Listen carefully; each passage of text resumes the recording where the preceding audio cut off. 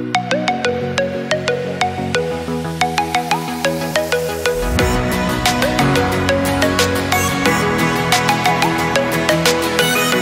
guys! In this video, I'm gonna show you how to make this adorable unicorn notebook.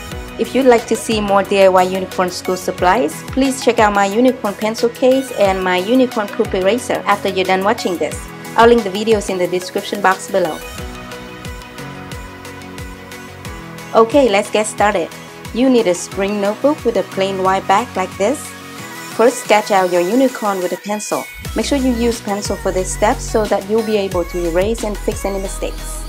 Once you're done with that, trace your drawing with a black Sharpie. Alright, the next step is my favorite. Bring out all of your color Sharpies and start coloring your unicorn.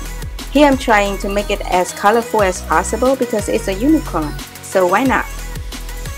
For the rainbow unicorn hair, I use 7 colors and carefully place them as close to each other as possible. And here I'm giving the whole thing a borderline to give the hair more definition. After you're done coloring, cut off the excess paper. Now trace the unicorn on the notebook sheet. Then grab about 5 sheets and cut the excess paper off. Make sure you don't cut too many sheets at a time because it's not so easy to do that. Not at all. Trust me, I tried it and it didn't work for me. So 5 sheets at a time and cut it with a pair of scissors or you could use an X-Acto knife to cut it too. It totally depends on what you're comfortable with. Once you're done cutting, you end up with this. My unicorn looks kind of bored, so I'm gonna put a smile on her face and two rosy cheeks.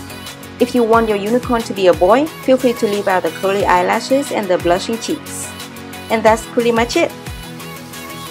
Okay guys, I hope you give this a try and have a lot of fun with it like I did. Please thumbs up this video if you enjoyed this and subscribe to my channel so you get notified when my new video is posted. As always, thank you so much for watching and I'll see you next time.